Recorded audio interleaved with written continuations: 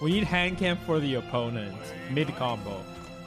That would be so fucking funny. Just see them. Ah! Just absolutely destroy their controller trying to get out. Why weren't you DIing, bro? Adapt.